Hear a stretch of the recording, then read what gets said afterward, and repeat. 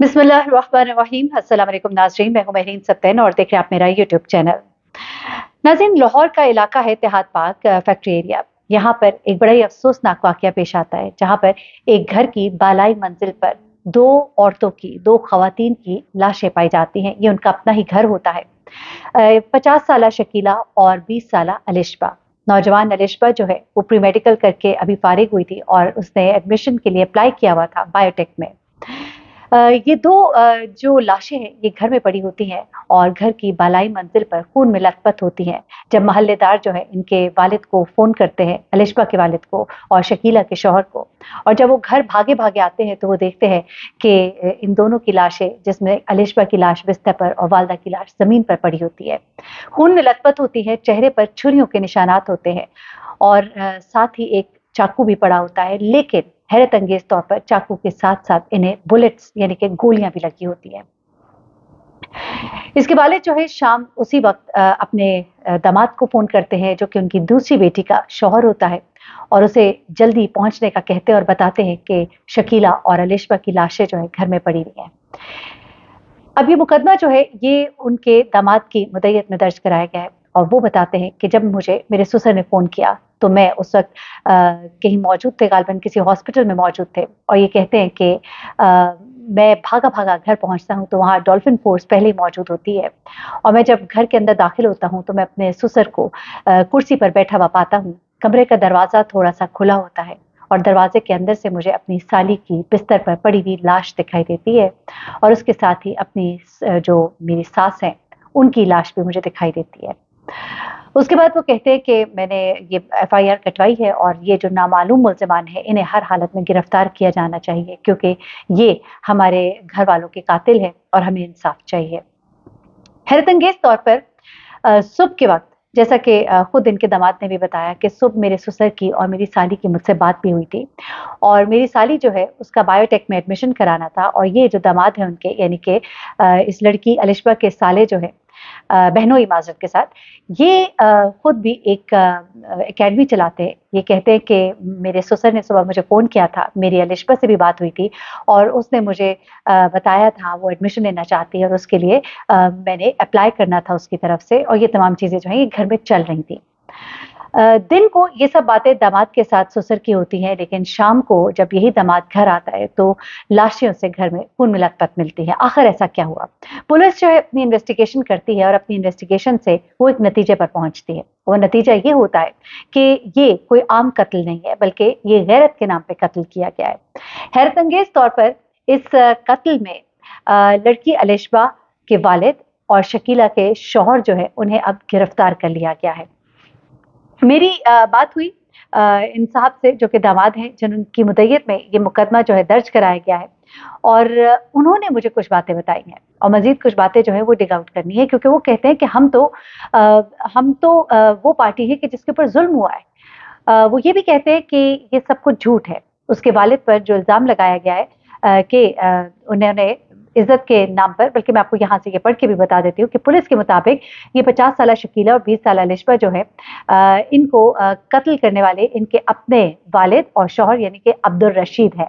लेकिन ये सिर्फ़ और सिर्फ़ शक है अभी, क्योंकि हमने अभी कुछ चीज़ें पता कराई जिसके मुताबिक बच्ची जो है वो अभी पढ़ रही थी उम्र उसकी कोई इतनी ज़्यादा नहीं थी। वालिद जो है उस पर बड़ा अतमाद करते थे और वो फ़ोन कॉल जो सुबह के वक्त उन्होंने अपने दामाद को की थी, वो इस बात का सबूत है, वो अपनी बच्ची को पढ़ाना चाहते थे। आखिर चंद लम्हों में ही, चंद घंटों में ही ऐसा क्या हुआ कि दिन को वही वालिद जो फ़ोन करते हैं बच्ची के एडमिशन के लिए, शाम को अपनी ही बेटी को, अपनी ही सगी औलाद को, अपने ही खून को, अपने ही हाथों से क्या मार डालते और उसकी वालदा को भी अब ये कहा जा रहा है पुलिस की तरफ़ से कि हमें चूँकि उसके वालिद पर शक है। अब मैं आपको एक बात बताऊँ। ये पुलिस जो शकू को शुभात करती है, वो पहले तो मुलिम के बात करने के अंदाज पर कि उसने क्या बात कही, उसने क्या इन्फॉर्मेशन दी, उसकी बुनियाद पर बात करती है, उसके बाद दूसरी बात वो करती है, जो ज़ाहिर सी बात है सीसीटीवी कैमराज ये तमाम चीज़ें। अब अहले महल्ला कुछ लोगों से कुछ बात हुई है हमारे रिपोर्टर की, मैं वो चीज़ें भी आपके सामने रख देती हूँ और मेरी जो इनके दमाद से बात हुई है, मैं वो भी आपको बता देती हूँ। जो अहले मोहल्ला है, उनका ये कहना है कि जिस वक्त ये कत्ल हुआ और जिस बारे में उनको पता लगता है तो उस वक्त तो इसके वालिद घर पे मौजूद ही नहीं थे। उन्होंने गोलियों की आवाज़ सुनी और उसके बाद उन्होंने डॉल्फिन फोर्स को फ़ोन किया।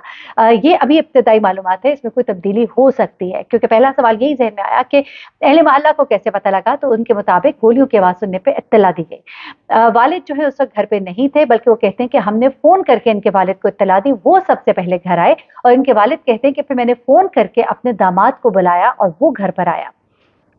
अब पुलिस का ये कह रहा है कि चूँकि हमारी जब इनसे इन्वेस्टिगेशन हो रही थी तो ये थोड़े परेशान भी लग रहे थे, ये बात इन्होंने पहले कुछ और की, बाद में कुछ और की, यहाँ से उन्हें शक गुजरा, उसके बाद कुछ सीसीटीवी कैमराज जो है, वो उनकी लोकेशन और वेयर अबाउट्स को थोड़ा सा मशकूक बना रहे हैं, वो सब चीज़ें क्या है, अभी पुलिस जो है बताने से थोड़ा हेजिटेंट है। लेकिन जो चीज़ें हमें मालूम हुई है, नी के अहले महल्ला जो है, उन्होंने बताया कि जिस वक्त ये कत्ल हुआ, उस वक्त अब्दुल रशीद जो है, ये उधर वहाँ पे मौजूद नहीं थे। और इनको जब बुलाया गया तो ये जो है उस वक्त आसपास भी कहीं नहीं मौजूद थे, बल्कि ये बाहर से आए और इन्होंने कहा कि इन्हें मतलब ये उस घर के इर्द गिर्द में मौजूद नहीं थे। उसके अलावा इनके गली में ही रहने वाले लोग जो है, वो कहते हैं कि ये वालदा और इनकी बेटी जो है, ये अच्छे लोग थे। कोई ऐसी बात नहीं थी कि जिसको ये कहा जाए कि गैरत के नाम पर कत्ल किया गया, क्योंकि आमतौर पर गैरत के नाम पर कत्ल का कहकर इल्ज़ाम सारा मुद्दा जो है वो ठहरा दिया जाता है। लेकिन अभी ये बात जो है, ये आइडेंटिफाई होने वाली है क्योंकि ना ही इसके वालिद, ना ही इनके दामाद ने इस बात का इकरार किया है कि कोई गैरत के नाम पे कत्ल हुआ होगा। क्योंकि आपको पता है कि मुजरिम जो है वो सबसे पहले आगाज़ में कुछ ना कुछ बता ज़रूर देता है, लेकिन ऐसी कोई भी बात इसके वालिद ने नहीं की जिससे ये कहा जाए कि उन्होंने इकरार किया इस बात का कि मैंने कत्ल किया है। अच्छा उसके बाद एक और चीज़ जो है वो ये है कि ये जो बच्ची है, ये अभी जब पढ़ के फारिग हुई थी तो फारिग होने के बाद इसने अभी आगे एडमिशन लेना था और इसकी तैयारियाँ जारी थी। इसकी अपनी जो दामाद है, यानी कि अपने बहनोई जो है, उनके साथ इसकी बातचीत होती रही है। और ये बच्ची जो है इसके बारे में कुछ इसके मोहल्ले में ही एक लड़की है, जिसने ये बात बताई है, नाम ज़ाहिर ना करने की शर्त पे, क्योंकि लोग चाहते नहीं है कि उनके बारे में कोई बात की जाए और खासतौर इतना अब high profile case of course बन गया है, लाहौर के अंदर मेन लाहौर के अंदर, एक घर के अंदर से दो लाशें जो है, इस तरह से जो आई हैं, निकाली गई हैं तो ये बड़ा मामला जो है, ये अभी पुरस्कार भी है और अभी इसके अंदर अभी बहुत सी चीज़ें जो है वो फाइंड आउट करने वाली है। अलबत्त उस बच्ची का ये बताना है कि ये बच्ची जो है इसके बारे में कभी इस तरह की कोई बात हम लोगों ने नहीं सुनी थी कि कोई गैरत का मामला हो, क्योंकि जब हमें पता लगा कि गैरत के मामले की बात की जा रही है तो हमने इसे टिक आउट करने की कोशिश की। तो उसने ये बात बताई कि हमने कभी इस तरह की कोई बात इस घर के बारे में नहीं सुनी थी कि कोई अजीब गरीब एक्टिविटीज़ यहाँ पे होती हों, या क्योंकि वो बहुत करीब रहते हैं, मैं आपको एग्जैक्टली तो नहीं बता सकती, पर उन्होंने कहा कि हमने कभी ऐसी कोई बात नहीं सुनी, और ये अच्छे लोग थे इनके बारे में आप ये नहीं कह सकते कि ये कोई इस तरह के लोग थे कि जहाँ पर कोई गलत लोग आते जाते हों। तो इस तरह की बात जो है अहले मोहल्ला जब एक बात कहते हैं तो उसके अंदर कुछ ना कुछ सच्चाई मौजूद होती है। उसके बाद जो दामाद है वो इस वक्त थाने में मौजूद थे जब मेरी उनसे बात हो रही थी। उन्होंने कहा कि मैं थोड़ी देर के बाद आपसे बात करता हूँ और आपको पूरी तफसील बताता हूँ। हम तो विक्टिम है और हमारे ऊपर ही जुल्म किया जा रहा है। यानी कि वो गोया बच्ची के वालिद को गिरफ़्तार करने को जुल्म करार दे रहे हैं। इसका मतलब ये है कि अहल खाना जो है, घर वाले जो है इस बात से इनकारी है कि ये कोई गैरत के नाम पे कत्ल है। लेकिन आने वाले वक्त में चीज़ें जो है वो मजीद क्लियर होंगी। जैसी कोई डिटेल्स आएँगी मैं आपके साथ शेयर करूँगी। अपना बहुत ख्याल रखिएगा दो में याद रखिएगा। अल्लाह हाफिज़।